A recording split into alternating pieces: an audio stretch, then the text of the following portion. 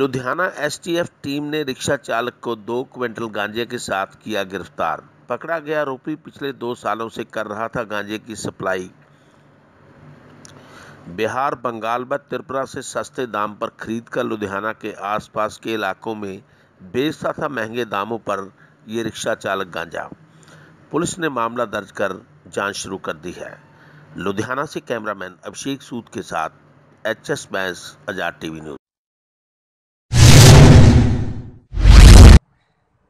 ਸਾਡੀ STF Ludhiana unit ਦੀ team ਨੇ ਕੱਲ ਸ਼ਾਮ ਨੂੰ yard Chowk Dhandari focal point Ludhiana ਤੋਂ ਇੱਕ ਰਿਕਸ਼ਾ ਰੇੜਾ ਚਾਲਕ ਓਮਾ ਸ਼ੰਕਰ, ਜੋ ਗਰੀਬਦਾਸ ਕਲੋਨੀ ਪਿੰਡ ਹਰਨਾਮਪੁਰਾ ਥਾਣਾ ਡੇਲੋ ਦਾ ਰਹਿਣ ਵਾਲਾ, ਇਹਨੂੰ ਅਸੀਂ ਕਾਬੂ ਕਰਕੇ ਇਹਦੇ ਰਿਕਸ਼ੇ ਰੇੜੇ ਦੇ ਵਿੱਚੋਂ 2 ਕੁਆਂਟਲ, ਜਿਹੜਾ ਬਹੁਤ ਭਾਰੀ ਮਾਤਰਾ ਦੇ ਵਿੱਚ ਗਾਂਜਾ ਲੈ ਕੇ ਜਾ ਰਿਹਾ ਸੀ ਇਹ ਤੋਂ ਅਸੀਂ ਰਿਕਵਰ ਕੀਤਾ। ਇਹਦੇ ਬਰਖਲਾਫ ਮੁਕੱਦਮਾ ਨੰਬਰ ਦ- 262 ਥਾਣਾ ਫੋਕਲ ਪੁਆਇੰਟ ਦੇ ਵਿੱਚ ਐਨਡੀਪੀਐਸ ਐਕਟ ਦਾ ਦਰਜ ਕਰਕੇ ਇਹਨੂੰ ਅਸੀਂ ਗ੍ਰਿਫਤਾਰ ਕਰ ਲਿਆ ਤੇ ਅੱਜ ਇਹਦਾ ਪੁਲਿਸ ਰਿਮਾਂਡ ਹਾਸਲ ਕਰਕੇ ਇਹਦੇ ਤੋਂ ਇਹ ਪਤਾ ਕਰਾਂਗੇ ਕਿ ਇੰਨਾ ਭਾਰੀ ਮਾਤਰਾ ਦੇ ਵਿੱਚ ਗਾਂਜਾ ਇਹ ਕਿੱਥੋਂ ਲੈ ਕੇ ਆਇਆ ਸੀ ਤੇ ਅੱਗੇ ਕਿਹੜੇ ਕਿਹੜੇ ਗਾਹਕਾਂ ਨੂੰ ਸਪਲਾਈ ਕਰਦਾ ਸੀਗਾ।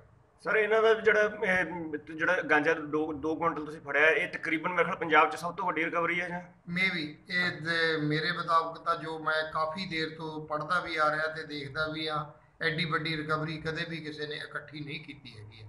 ਸਰ ਇਹਦੇ ਵਿੱਚ ਹੋਰ ਕੋਈ ਇਨਵੋਲਵ ਹੋ ਜਿਸ ਤਰ੍ਹਾਂ ਮਤਲਬ ਇਹਦੇ ਇਹਦੇ ਵਿੱਚ ਇਹਦੀ ਪੁੱਛਗਿੱਛ ਤੇ ਨੇ ਦੋ- ਦੋ ਤਿੰਨ ਸਟੇਟਾਂ ਤੋਂ ਜਿੱਥੋਂ ਮੰਗਵਾਉਂਦਾ ਉਹ ਬੰਦਿਆਂ ਦੇ ਨਾਮ ਦੱਸੇ ਨੇ। ਉਹਨਾਂ ਬਾਰੇ ਅਸੀਂ ਪੂਰੀ ਪੜਤਾਲ ਕਰਕੇ ਕੋਸ਼ਿਸ਼ ਕਰਾਂਗੇ ਕਿ ਜੇ ਅਗਰ ਸਫਾ ਮਿਸਲ ਤੇ ਉਹਨਾਂ ਦੇ ਬਰਖਲਾਫ ਕੋਈ ਸਬੂਤ ਆਏ ਤਾਂ ਉਹਨਾਂ ਨੂੰ ਵੀ ਅਸੀਂ ਮੁਰਜਮ ਬਣਾਵਾਂਗੇ ਤੇ ਆਪਣਾ ਉਹਨਾਂ ਨੂੰ ਗ੍ਰਿਫਤਾਰ ਕਰਾਂਗੇ।